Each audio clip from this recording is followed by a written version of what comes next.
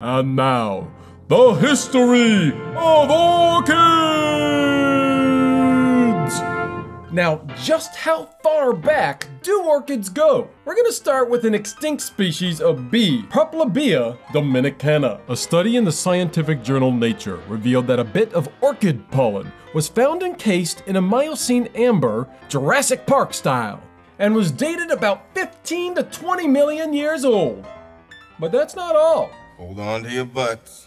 Genetic sequencing indicates that orchids go back to the late Cretaceous period, about 76 to 84 million years ago. And according to Mark W. Chase, the former director of the Jodrell Lab at Kew Gardens and author of the Book of Orchids, there is a biogeographical and phylogenetic evidence that shows orchids could go back as much as 100 to 120 million years ago. Orchids are all under the family Orchidaceae, but there are varying accounts as exactly how many species there currently are. But most current sources put it anywhere from 25 to 30,000 different species of orchids. And that's just the species. It's now believed that there could be as many as 300,000 individual varietals of orchids. I get a whoa? Whoa! Here's where things get just a little bit odd. Big thanks to Greek philosopher Theophrastus, who gave us the biological name of orchids, which is orchis. And it literally means testicles. Now, this is actually because some of the orchid root systems resemble testes. Or so they say. I can't make this stuff up. I can't. The term orchid was actually introduced in 1845 by John Lindley in the book School Botany and Vegetable Physiology, or The Rudiments of Botanical Science. Catchy title. Let's skip ahead to 2800 BC, where we find the first written evidence of orchids in an old Chinese medical text. Starting around 700 BC, there's even more extensive evidence of orchids in Chinese and Japanese art and literature. And this brings us to one of the world's most famous Chinese philosophers ever, Confucius. No! He is not just a construct of the fortune cookie companies! Confucius called orchids the king of fragrant plants, and because of his writings, the orchids acquired a revered status and became one of the four most revered plants in China. Now, this quartet of plants is known as the Four Gentlemen or the Four Noble Ones.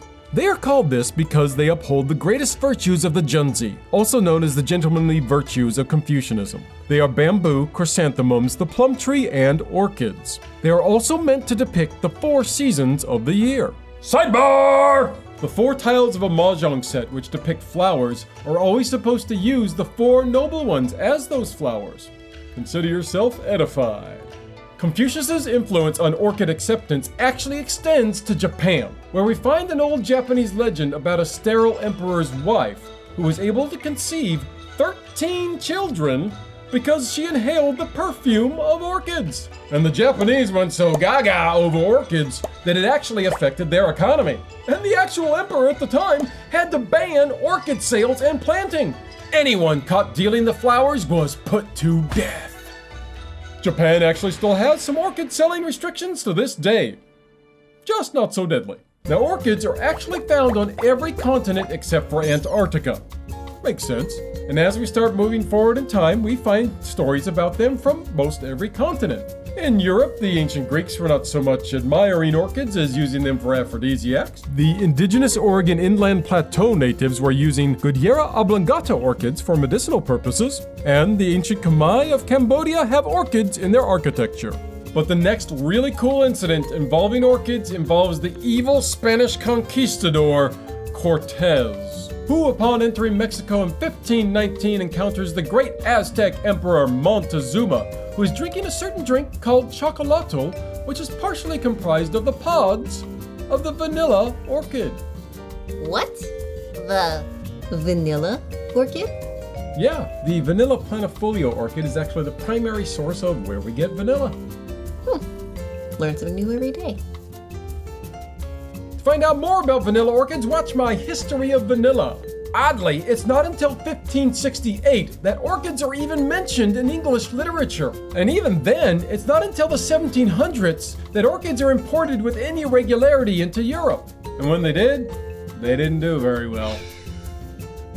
It wasn't until 1787 that a clamshell orchid is recorded as flowering under the care of botanists at Kew Gardens in London. And it wasn't until 1856 that the first official man made hybrid was created.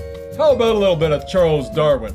Now, Darwin wrote volumes of research on orchids and pollination, but one he couldn't quite figure out was the Angraecum sesquipedale, which has an incredibly deep pollen chamber. Darwin wrote his friend and botanist Joseph Hooker. Good heavens, what insect can suck it? He figured that it must be pollinated by an insect with some kind of 13 inch proboscis in order to reach down into the deep pollen chamber. Turns out he was right, and in 1903 it was eventually discovered that an African hawk moth from Madagascar fit the bill. And now, prepare yourself for orchid mania. Orchid mania! Ah! Orchid mania!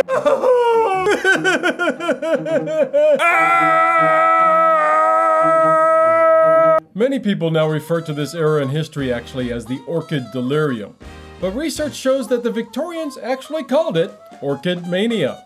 Psychopsis papilio is the beautiful flower that sent the Duke of Devonshire's orchid obsession into overdrive.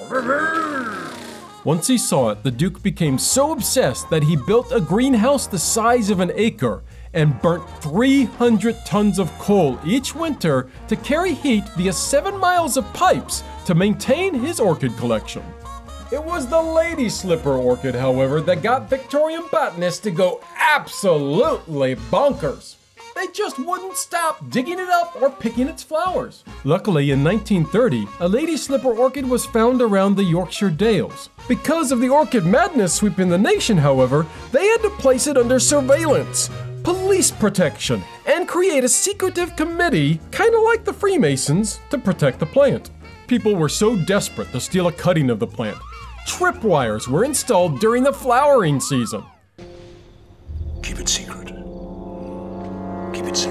Since they were so rare, orchids were considered status symbols for the elite and royalty.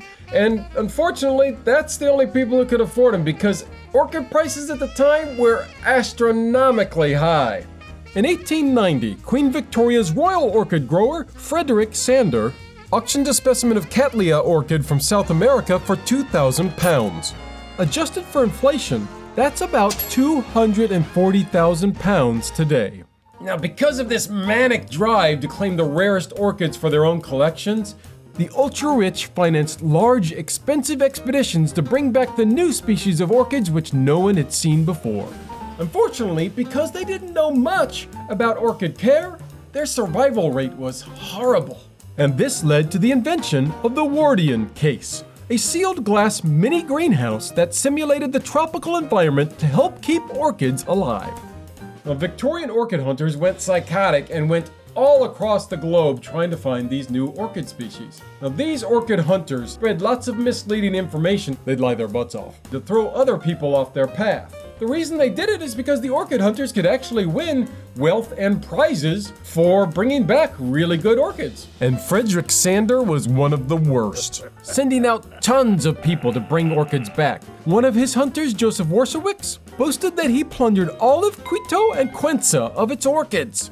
And plunder is only part of it. Orchid hunters would burn the forest behind them in order to prevent their competitors from getting the same orchids. What the? You want more bizarre? Okay, orchid hunters would sometimes use more common orchids as packing material for the rare orchids. That said, Sanders and some of the orchid hunters did do a few helpful things by saving some of the orchids for scientific research. And Sanders wrote the first official list of orchid hybrids. But it hardly makes up for the thousands and thousands of orchids that were killed, and the varietals and species that may have gone extinct because of the era of orchid delirium. Today, thankfully, the approach to orchids is completely different. In 1973, CITES was created to prevent the illegal trade of orchids that still exists.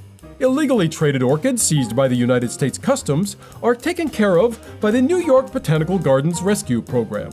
Still, orchid mania remains a humongous blemish on the history of orchids and the numbers of species that were lost. And we can only hope in the future that people will finally get a clue and calm the f down. Thanks so much for watching. As always, if you like this video, hit the like button, share it with your friends, subscribe, bell.